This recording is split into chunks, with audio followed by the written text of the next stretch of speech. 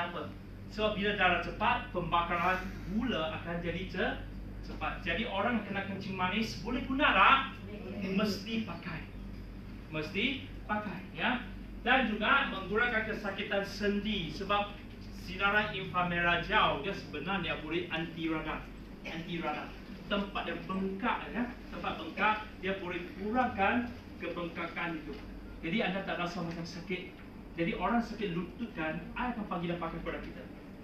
Ya sebab sinaran inframerah jauh berupaya untuk mengurangkan kebengkakan badan kita. Ya. Dan juga memperbaiki saraf autonomi.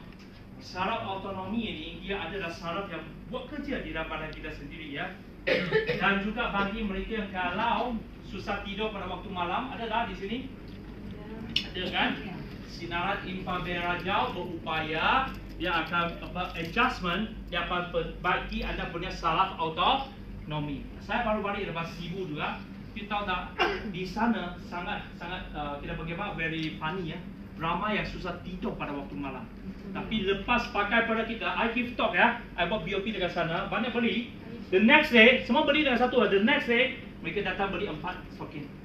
Tambah terus jadi silver. Ada yang kaki yang bengkak, tuan-tuan pasien. Lepas guna kita produk satu malam tak sampai 24 jam, dia bengkak itu dah jadi surut, dah jadi okey. Okay, bagi tuan-tuan MXP boleh tak tuan-tuan? Sebab kita tengah bantu orang betul tak?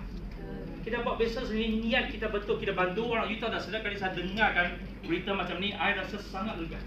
I feel like I'm happy sebab kita bantu orang. Tahukah kaki bengkak nak jalan pun susah, nak pakai kasut pun susah? Khas yang ini berlaku pada orang-orang yang tua. Betul tak? So kenapa kita tak buka mulut kita untuk bantu?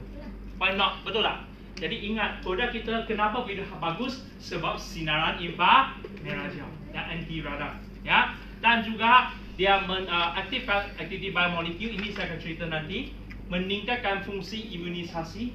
Siapa yang kalau ya dia punya sinar infra merah jauh cukup tinggi, bakteria susah nak hidup dalam badan. Kuman susah nak hidup dalam badan. Walaupun yes ada sikit kuman, ya mesti ada, tetapi kuman yang menyebabkan kita demam dia jarang nampak.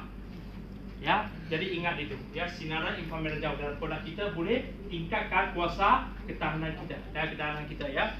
Dan juga kesan anti radang itu saya dah cerita. Dan juga kesan energetic.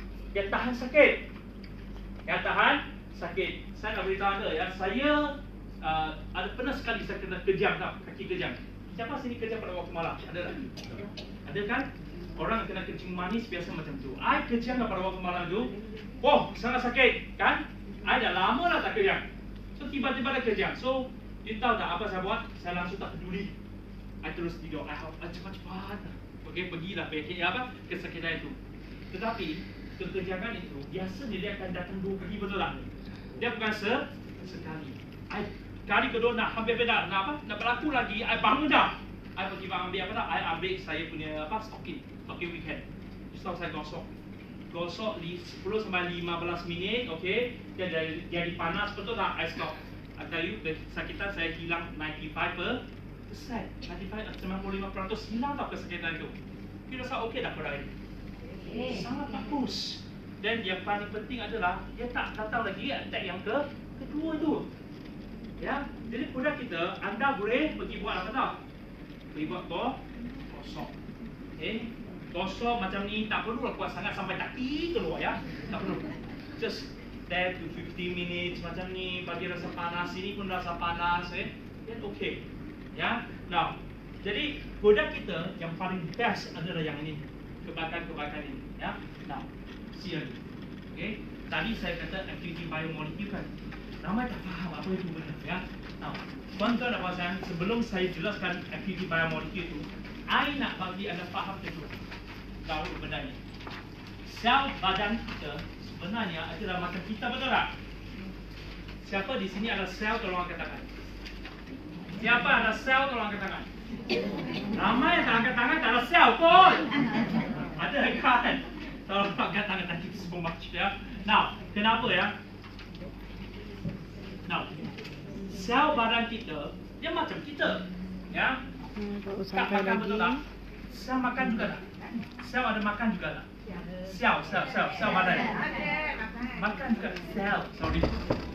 Sel juga makan, betul tak? Kak minum, sel dalam minum tak? Minum. Betul. Then kak pergi buang air besar. Dia pergi buang air besar tak? Tapi susah nak buang sebab dia tak ada lubang. Tak macam kita, betul tak? So macam mana? Dia perlukan air. Air dia akan menghasilkan menghasilkan tekanan yang berlainan dalam sel dan dekat luar sel. Ingat ya. Air dia akan menghasilkan tekanan yang berlainan di dalam sel dan juga di luar sel. Kenapa kena ada tekanan yang berlainan? Supaya air boleh masuk, lepas tu dia akan paksa keluar toksik daripada sel badan kita. So hari ini ada nasihat kena minum air dengan secukup-cukupnya tambah dengan sinaran inframerah yang sinar inframerah jauh yang cukup kuat. Ingat itu. Ya. So bila sel dah keluar toksik itu, maksudnya sel itu dia bebas daripada benda yang kotor. Sebab kalau benda kotor dalam sel terlampau banyak, susah nak keluar, dia akan mengubah genetik sel. Tolong tulis. Toksik yang banyak dalam sel akan menyebabkan sel punya genetik daripada DNA akan tukar. Toksik dalam sel kalau berkekal terlampau lama akan menjadikan sel ke DNA nya tukar ataupun genetik yang tukar. Bila tukar dia akan jadi sel can cancer. Ingat ya. Jadi siapa yang kalau minum air tak cukup tak minum secukup-cukupnya akan senang menghidapi penyakit can cancer. Ingat itu tolong tulis. Siapa yang kalau tak minum air dengan secukup-cukupnya senang menghidapi penyakit can cancer. Tetapi saya dah katakan air dia saiz molekul macam mana? Ber rantai panjang betul tak? Dia kena digegarkan jadi rantai yang molekul yang saiz ha halus. Sebab tu dekat pasaran sekarang ada banyak mesin air betul tak? Mesin air yang alkaline water lah apalah banyak kan? Mahal tak mesin tu? Mahal. Sebab kenapa dia kata berupaya memecahkan molekul air yang besar ke saiz yang ha? halus. Betul tak?